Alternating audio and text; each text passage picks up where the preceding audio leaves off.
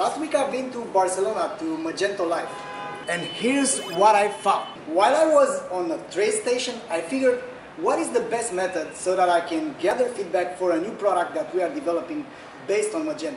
It was outstanding. The good old method of simply going out and asking people was the best one. So here is what I found. Growth is a question of retention, not of acquisition. As Anita Andrews stated in her Magic Talk, I've also found this by asking 50 different e-commerce managers about how they are tackling the problem of retention. Surprise! Only a third of them are actually measuring the retention rate and only one of four of them are actually aware about the impact in their business. Keeping the status quo is not a business strategy and that was coming from Shantanu Narayan, the CEO of Adobe. Indeed, actually everything in life is about change.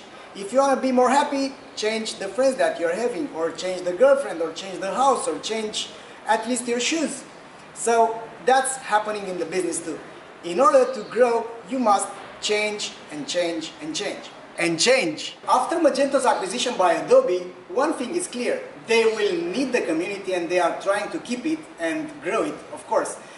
As they're stating, they will be focusing as well on companies of all sizes. But of course, by the integration with Adobe Marketing Cloud, they will be focusing on more enterprise customers than ever before. There is one important thing that Magento revealed. This is an important aspect.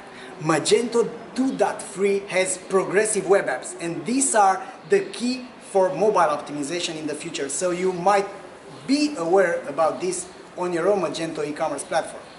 It was a great opportunity to meet e-commerce managers from shops of all sizes such as Nestle, HP, Pronovias or Soak and Sleep. It was also a cool opportunity to meet in real person cool people such as Guido Jansen from Dacento or Dwayne from MageMail, Marsha from Mage Mojo or Philip Jackson from MageTalk. Hi guys!